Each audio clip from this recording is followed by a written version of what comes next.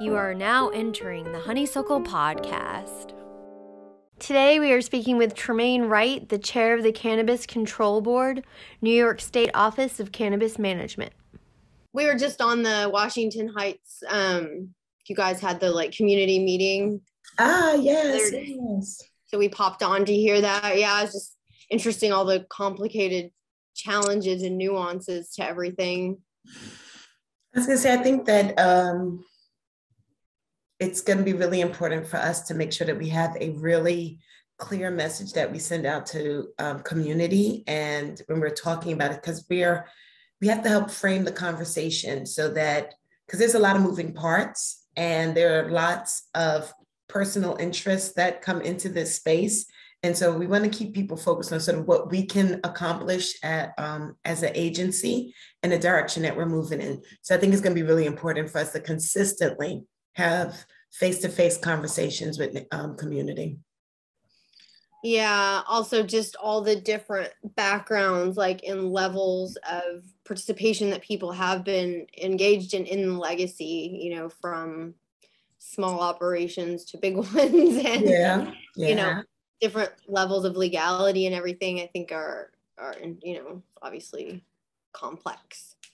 Well you know what I'm going to say, I think that we've got to, that's also part of the messaging that I think the um, OCM has to be clear on. It's not actually that complex. There is no gray market in New York. It, if anyone is operating and selling cannabis in New York State at this time, it is not, it is not um, under the medical license. It's not legal. Um, so we've got to get clear that we're, what we're talking about and help people to understand what we need them to do is prepare themselves so that they can obtain licensing and come into the regulated market. Because really, what we want to make sure is that we're not seeing consistent streams of unregulated, untested products that really are not, it's just not safe. So we want to make sure that we're really controlling the marketplace so that our consumers can trust what they're buying and what they're getting their hands on, and that they know that when they pick it up, they can read a label and they know exactly what they're getting. So it's it's twofold. We need consumers to be um, educated and to know that they can trust it, and then we also need to know that our providers, um, our businesses, are folks who are operating in the in good faith and that they're building great relationships. Yeah. Well, and oh, I'm sorry. Go ahead. No, go ahead. Oh, I was just going to say, and it's interesting because a lot of the legacy brands in New York seem to be getting a lot of attention. Um, they are. and you know what? We understand that New York State has a robust market that we're asking people to move out of that space and into this regulated space. But it's going to take us building a partnership.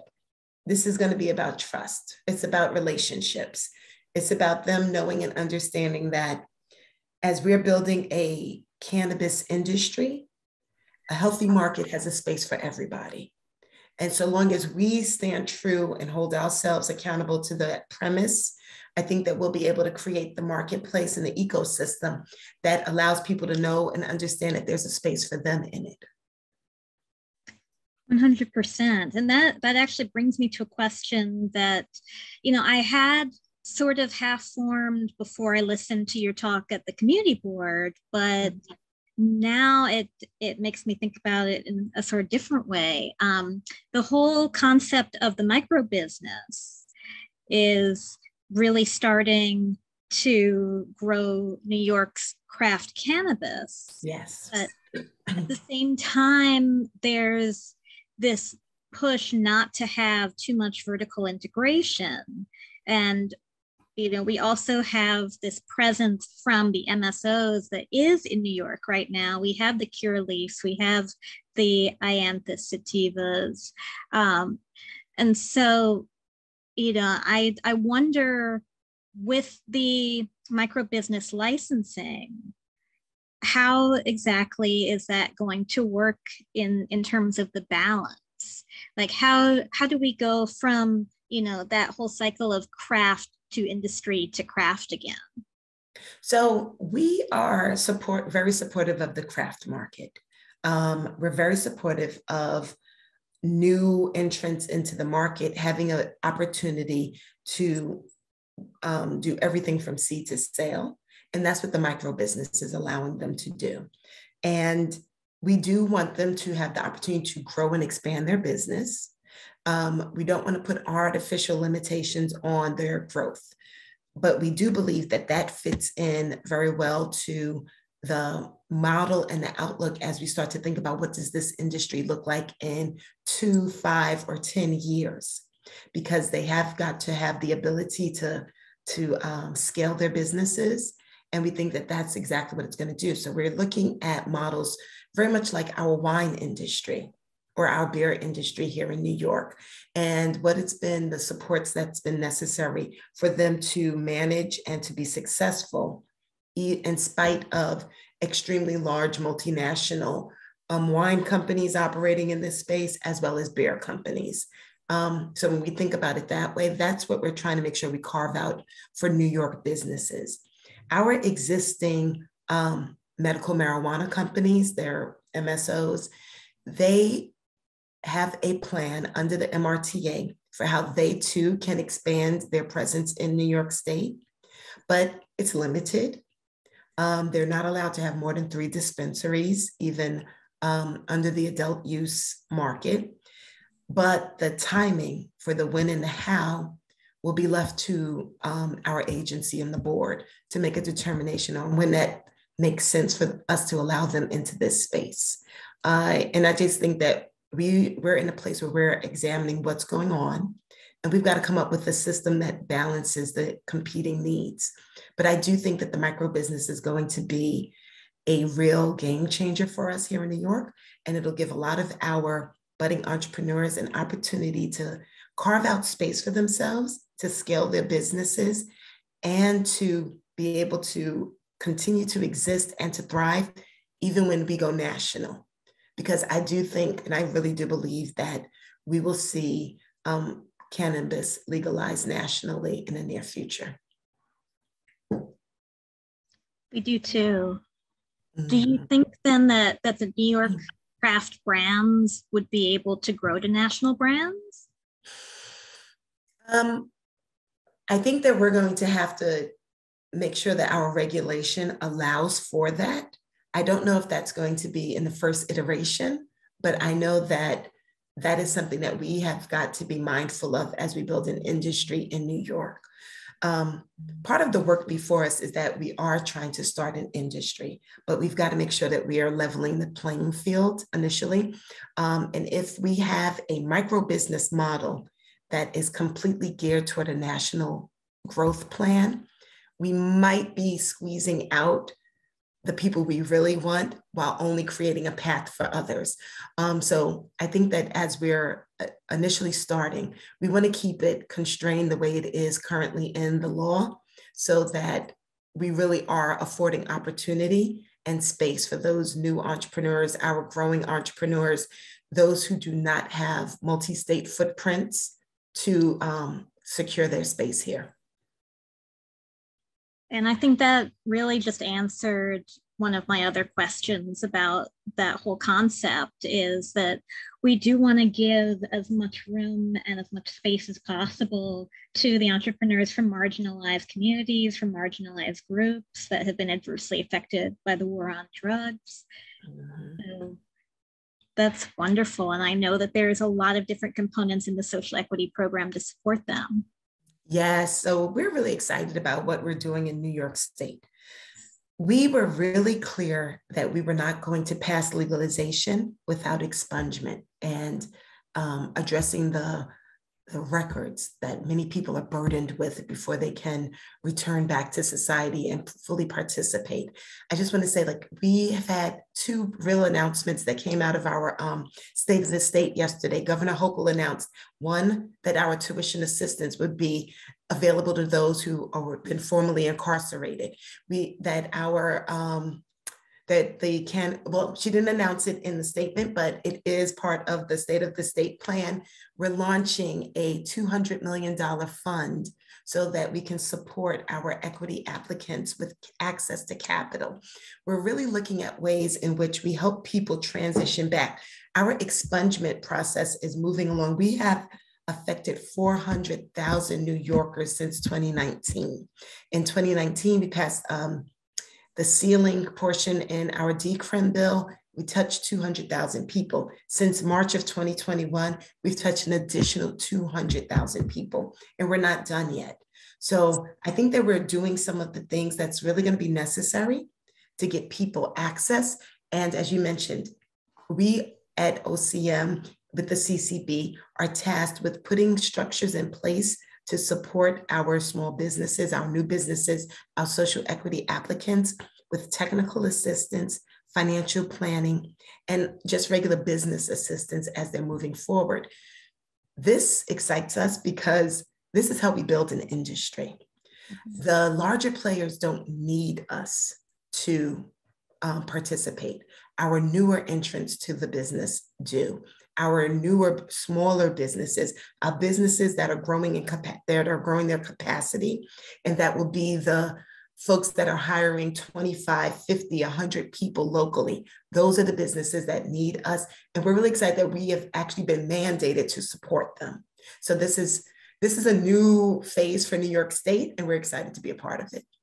And I think we're the only state that has mandated such a thing into the cannabis program. Is that right? I think so. Um, I'm not going to say no that people aren't trying to build it out or that they're not doing it at this moment, but I think that we're the only ones that were mandated. And I think that's what's exciting about New York. Um, and I think that we have an opportunity to be the leader in this moment to say a healthy um, industry is only the industry that allows all of the participants to participate fully. Um, we don't exclude others in other industries we so we've got to make sure that we're building cannabis in a way that really says, you know what, you want to participate. Here's a way for you to do it. Here's a way for you to grow your business. And if you decide that you want to stay kind of small and create create work for yourself and maybe five or six other people, you can do it. But if you're also looking at how do you build an in, um, an industrial center and you're going to hire 200 people, we want to be able to have a pathway for that too. Um, and I think we need all of it in New York State. That's amazing. And it, it seems like Governor Hochul and Lieutenant Governor Benjamin have been really, really supportive of the OCM from the entire project. They are. And I'm going to say I was so happy when Governor Hochul um, was sworn in and immediately she took the task up of assigning members to the control board. And then she got us up and started so that we can start hiring people. Um, the fact that our fund is part of the state of the state is uh, it's just amazing. I really think that those are the types of um, supports that we need and we, the signals that the um, New Yorkers need to see and know and understand. That's a big deal for us to be able to go out and do a public-private partnership to raise funds so that we can actually give loans to people before we start to collect taxes.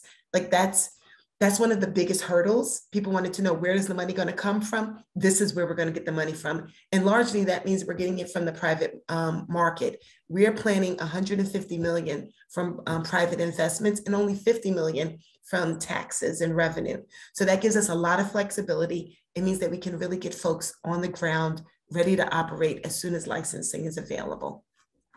That's amazing. And it also sounds like that might be a pathway toward keeping the actual product more affordable, which has been a big problem elsewhere. It does keep it, as soon as your costs are lower, you can sell for a lower price.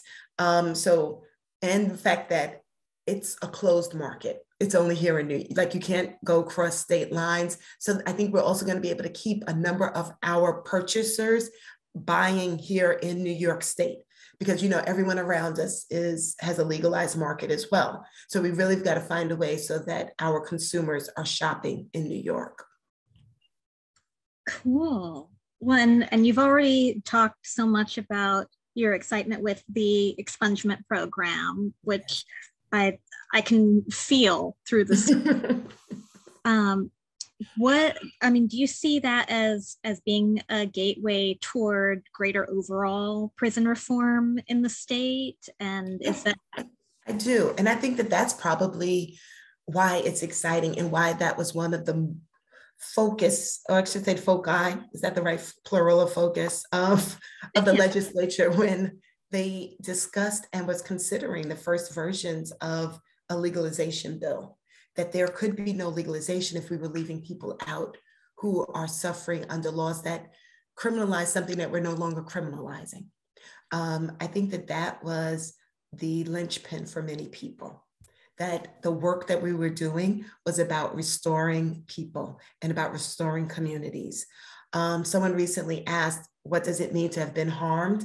And I think that we've got to remember and develop language so that we consistently bring home the point that what was done, the harm that was done, was greater than just having someone arrested. It was a, the loss of innocence. It's the constant terror. It's trauma that people have experienced. It's the weight and burden that families and communities have carried because of this um, um, prohibition on cannabis. And so the war on drugs affected us in a lot of ways, and it normalized activities that in no way should have ever been normalized. And now we have an opportunity to right those wrongs and to bring attention to the harms that have been done. So I think that that's a very large shifting the paradigm, shifting language, and helping people to understand that that is just really not acceptable behavior for government is, I think, part of the biggest lift and some of the most exciting work that we're engaged in. Well, and I think you you hit it on the head with the that it's all about harm and how do we mitigate that harm. Uh, there are so many other provisions within the MRTA that I think a lot of people don't even think about as being part of that.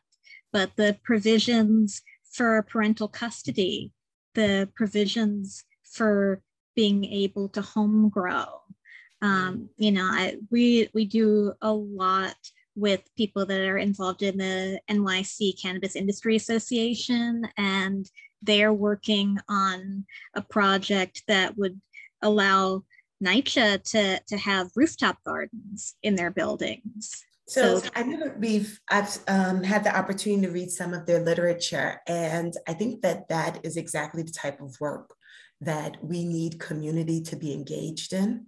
So I oftentimes say the agency, the OCM, the, C, the CCB has a mandate, and our job is to do that work. Um, but we're very supportive of our community engaging and having the broader conversation, and we are very much engaged in supporting their efforts to make sure that consumption, um, possession is safe for all New Yorkers. We know that a large number of our um, federal counterparts, our political counterparts, as well as those in um, agencies working in um, the federal government, are very much attuned to this concern. And I know that we have recently had, we have a new HUD um, director here in the New York City area that is also very much attuned to this work and concerned about the safety of people who live in any housing, not even just NYCHA. So Section 8 is captured um, in our many of our affordable housing units that people might not otherwise think about. Um, it's not simply NYCHA, but it's all encompassing. And we've got to make sure that they're safe in their homes when they are utilizing cannabis products um, that have been essentially normalized and legalized in this state but for some reason on the very small plots of land that they're living on or their homes are that they're susceptible to harm. So I know that we've been supportive. We've seen some of the language. We are um, hoping that they get some traction um, with our federal counterparts, and we are here to support the endeavors. Amazing. I got a quick question, just back to kind of the war on drugs and impacted communities. What has been your personal experience? I mean, you know, when you were growing up, like, is this something that you witnessed? Um, so I'm from Brooklyn, New York. So I've lived here my entire life and I've definitively um, experienced it. I am, I'm going to say that you could not be Black in New York City without experiencing it almost. It is going outside or walking home and knowing that you needed to be guarded and prepared for an inter, an unwanted police interaction. It is watching friends that may have just gone to the park to play ball being swept up um, by the police into police vans on any given day, and then held at police stations for insurmount and who knows unknown amounts of time just because it was sweeps and there was a an op there was opportunity for New York City police officers to hopefully capture somebody that might have a little bit of marijuana on them. It's being patted down against walls. It's seeing people thrown up against um, surfaces. It's it's the loss of innocence for young people. It's terror, and it's an ongoing trauma. It was living in a police state, and that it had been normalized. It is 20 years of us watching um, a TV show that many of us loved, Law and Order, where things were normalized and you can't name five roles by Black men on the, or Hispanic men that were not the criminal or the target of the investigation. It's 20 years of that. And so I think that those things framed it for me. And as soon as I was elected as an assembly member in 2016, the first person who came to my office um, with a request into it was a, I wasn't even um, sworn in yet was a friend who said, Tremaine, you're going to Albany. This is what you've got to work on. And it was about the de- decriminalization of marijuana, but more importantly, it was about removing the criminal charges from people who had been picked up for holding low amount, small amounts of marijuana, because it disrupts so much of their life thereafter. So it was really about figuring out ways for us to reintegrate people into our society and allow them to participate fully. Um, I think that's the work that we've all got to be involved in. And I always wonder, you know, talking to friends and hearing these stories like intimately, how does that even, you know, psychologically speaking, like the generations of how long does it even take to heal or repair or fix, you know, because even I don't, that I couldn't answer. I just don't know that. I, I too don't know that answer because I think that there are um, habits that people are taught so that they can, um, by their parents or other loved ones in their lives, so that they can consistently protect themselves. So there's a hardening that must happen so that people can navigate such a space. There is so that they are prepared for what might occur. And that ends up shaping their interactions with one another, their outlook on what to expect from service, from people who are supposed to be service providers. It builds expectations, and to redirect and reimagine those expectations will take time. It's like asking us, how long does it take for those who went and served in Vietnam to come back and be fully restored? And I don't know that answer. I don't know if they're ever fully restored. Um, so we have a population and a generation of people who have got to reassociate and they are still teaching lessons. So, what are the lessons that they're teaching and how are people reinterpreting that? Um, yeah, thank you for sharing that. And I have, you know, obviously it's January 6th, so it's a year mm-hmm. the insurrection. So, I mean, I think obviously this touches on a lot of what you just described. If you wanted to give us some comments, or I mean, I think all of us can agree the ridic- level of ridiculousness surrounding it is beyond.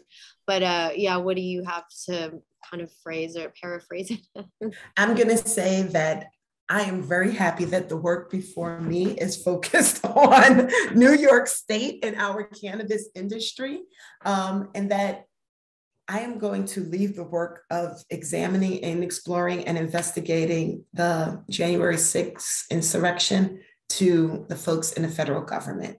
I am, I know that my plate is full, and I am very much committed to using my energy and resources to build out cannabis in New York State. I understand that there are lots of other competing interests around us. I and the OCM cannot tackle all of them, but we have work in front of us that is serious, that is impactful, and that that's really what we want to see. We want to build relationships. We want to build this industry. We want to make sure people have access and access to capital. Amazing. And um, also, since this is going to be a Black History Month themed issue, what are your thoughts on Black History Month? Or are there any um, comments that you want to make that uh, you haven't seen people really talking about with it? So, you know what? I think Black History Month is America's moment to um, look at itself. It's a moment to look in the mirror. It is, while it is a celebration of the accomplishments of Black Americans who have been um, innovative, they've been um, tenacious, and they've always approached problem solving with a hopefulness. This is our moment to celebrate that.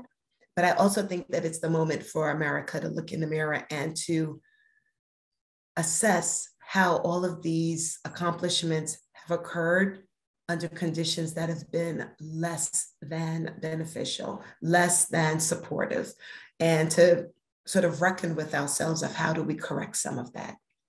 Um, I never fool myself into thinking that we're erasing it, but I do believe that we're constantly making steps to better the situation.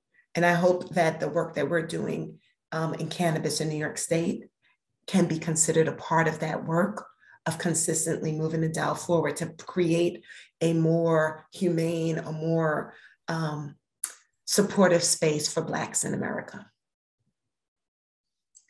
Well, and let's just talk timelines really quickly because in October, the goal was to have licenses by 2023. And now it seems like the the date has sped up a little bit. So we're sticking to the 18 months. I know that people hate when I say it, but we're sticking to 18 months. That's that's our timeline. But even just like with all work, if we can beat the timeline, we will. We are steadily pushing forward and we're hopeful that we can issue the first draft of our regulations in hopefully by the end of this first quarter, maybe the beginning of the second quarter. And that would be a, um, in advance of sort of our 18 month timeline schedule, but it's hopeful. It hasn't happened yet. We're steadily pushing, we're working towards it, but we're going to stick with the 18 months, but we're going to pray that we beat it. Cool. well, um, I think those were all the questions that I had. Although, if there is anything that we haven't talked about that you would like to mention, we're all ears. Uh, no, I think that we've kind of touched on all of it. Um, so yeah, I, I guess I had a couple, just two quick follow-ups. Um, you know, um, aside from what we spoke about for your, you know, department, um, is there anything kind of you want to see emerge or that hasn't come to you know public discourse yet um, from your the department and what can the possibility um, so i guess i don't want to put the cart before the horse but i'm going to say i am truly hopeful that we are treating all of cannabis that all of cannabis ultimately comes together for um, under the OCM so that we can really treat it um, like one industry. I think that it, it, will be helpful to the market for us to really um, to be able to do that. While we have great relationships with our other agencies, I just think that it becomes easier for our consumers if they know that they're going one place. It's one stop shopping for all of cannabis. Um, so that is like down the road and in the future, but I would love to see that and I guess I'm really excited and I really want to see New Yorkers think boldly about cannabis and what it could be in this um, in this marketplace. I think there's a lot of conversation about retail dispensaries. And I just know that we have such creative people here in New York State that if people start to think a little more broadly, we'll see great innovation and we'll see new product lines that folks are not thinking about. And I, I would really love to see New York leading the way. And do you plan to stay in politics for a long time? Like, so I'm going to say this job is political. It's an appointment. Um, I really do enjoy this work. I love the idea of helping to shape this new industry in New York State. I um, I'm a lawyer by training.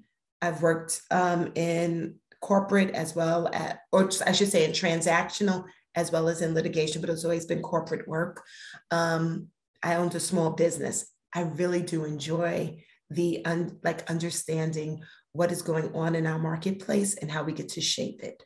Um, so for me, if the OCM and CCB will have me, I will stay here and serve. Um, but I was going to say nothing is promised, and I have three years to work on building the best industry here in New York State. And so I really want to see people with strong businesses that can, that can sustain uh, market trends, ups and downs, that we have a marketplace that can um, pivot when we go national, and that we are doing fantastic, innovative things. So if I can help build that, I'm going to I was going to say there's nothing more that I could ask for. Awesome. Thank you. Um, and then finally for me is um, do you, have you met Dasheeda Dawson? Yep, I have. Yes. So she's wonderful, as we all know. and you know, lately she's been really speaking, um, you know, out about cannabis as the whole plant, like you were describing, but also as a disruptor for pharmaceuticals and and you know these larger things that I think would be so good for the rest of the um the planet really. But I mean I suppose that's more of a federal thing like in order to so some of that is federal and some of it is under the mandate of OCM we mm-hmm. are charged with doing research and I believe that our research should be supportive of innovation in the market Mm. And part of that work will be to understand what's going on within our endocannabinoid system so that people can understand how this plant and all of its attributes are able to support our natural um, biological systems. Then we also have the opportunity to think about what are the better industrial uses of this plant? And also, how do we manufacture so that people can access this very easily?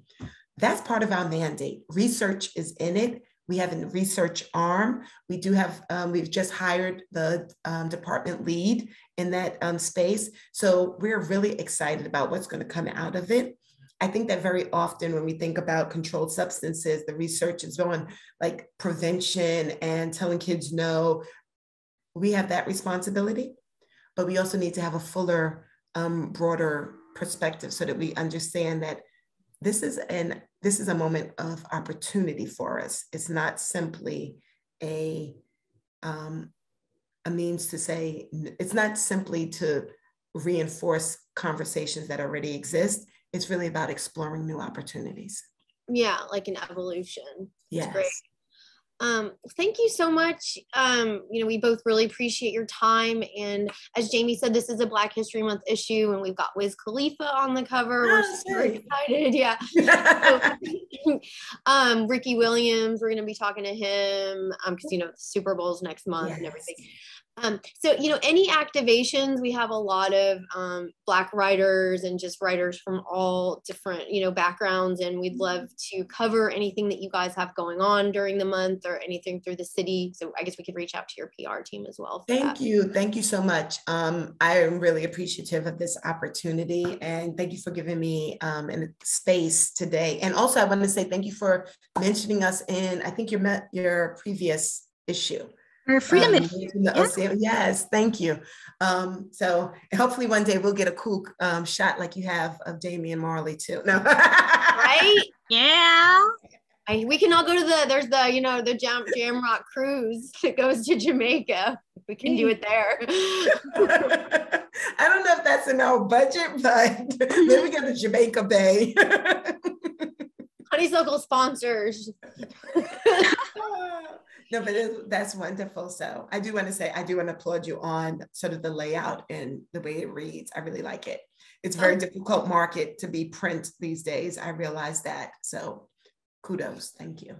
Thank you so much. Yeah, we can send you some of our past issues too. You might like it. We always try to have like an educational slant, you know, to the okay. content.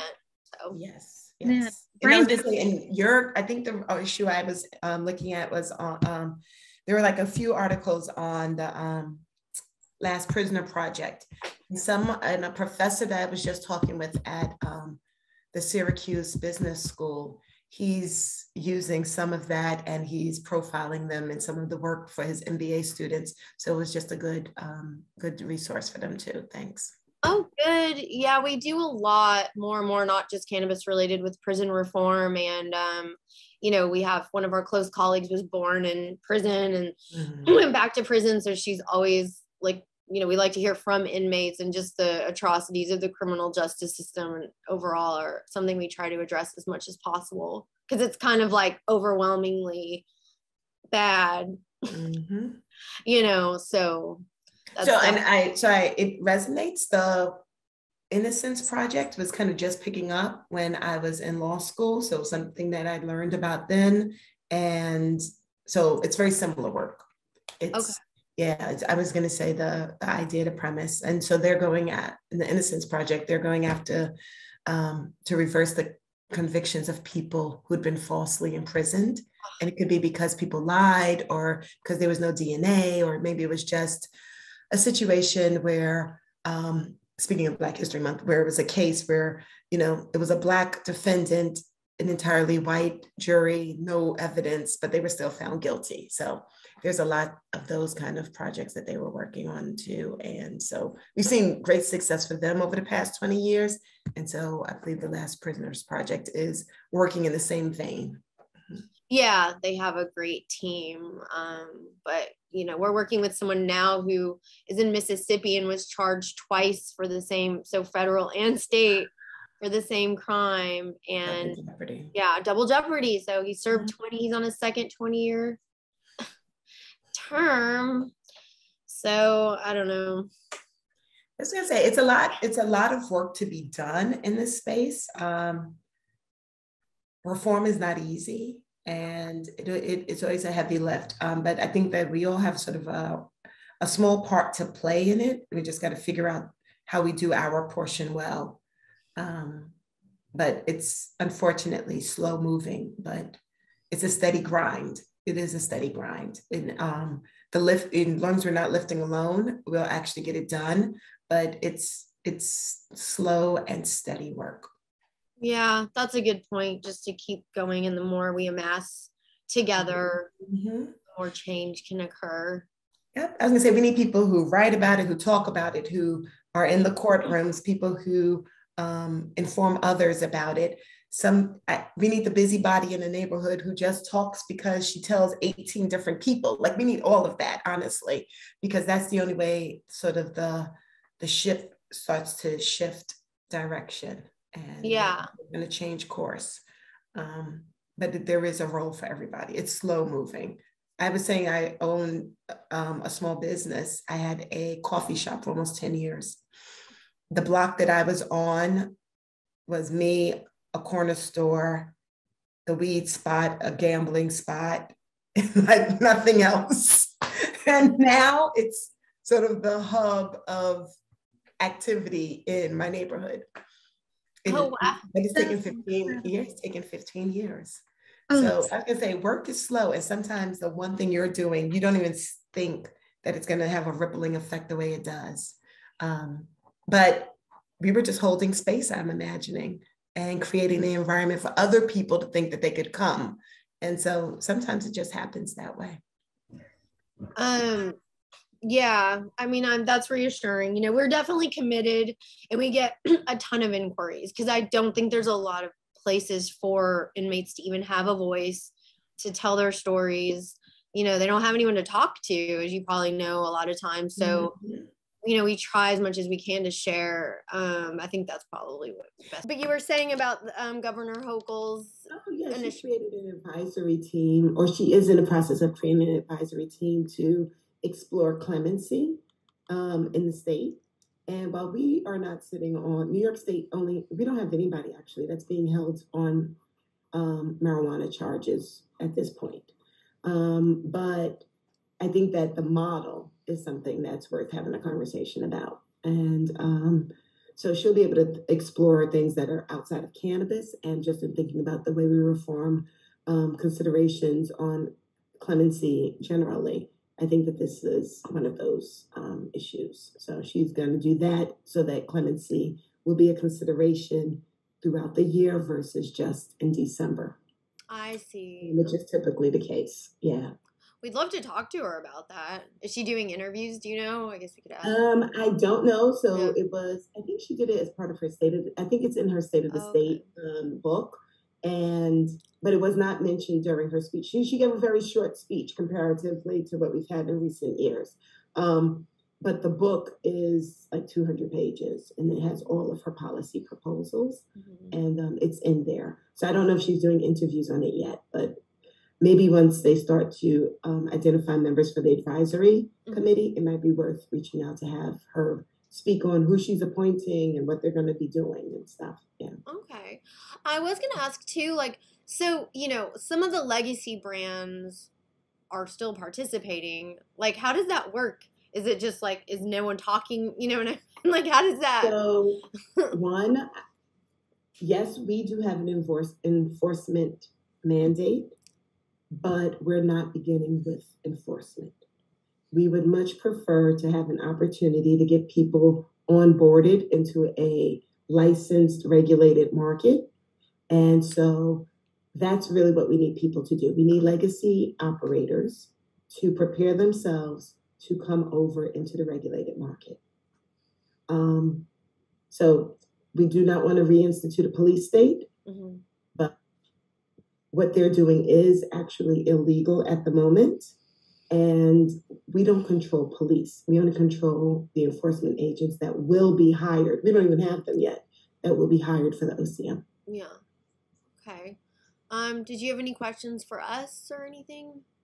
Um, nope, Okay. none yet. Um, I think that's everything. Okay. Mhm, Well, you know, think th- Dan, please, you know, think of us as a resource if you hear of, you Mhm. know, any stories or people that want to share their stories or anything to get Mm-hmm. out there.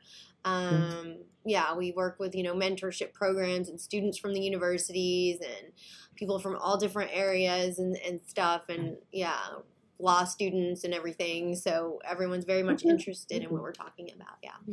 Thank you. Thank you so much. I appreciate it. Thanks. Thanks, Jamie. All right. Thank, Thank you, you. Jamie. Thank you for to meet everything, Tremaine. Thank problem. you. My pleasure. Oh, sorry. One quick thing I forgot. I was asked, requested. So there were they're starting a female-led incubator here in Manhattan for plant-based brands, um, like a co-working exercise place, and they wanted to be in touch with you to kind of invite you or, or have you visit the the grounds like when it's up and running. So I just wanted to see if it was okay if we would extend invitations to you for that. It's like a cannabis. Okay, okay, Yes, definitely. okay, cool. Definitely. And I think that that's also indicative of sort of the way we need people to be thinking. Everybody's not going to go and be a cultivator. Yeah. Um, but there's going to be a lot of ancillary businesses that support the industry. And this is exactly in that that um, vein of businesses. Yeah, they Um, wanted yeah, like female executives or startups. Yeah, Mhm. call it, they're calling it the greenhouse, which is kind of cool, like H A U S. mhm. Yeah. Excellent. That's sweet. All Okay. right. Yes, please let me know. I would love to show up. Okay, thanks, Tremaine. All right. Thank you. Bye, Talk to y'all Jamie. Bye-bye. Bye.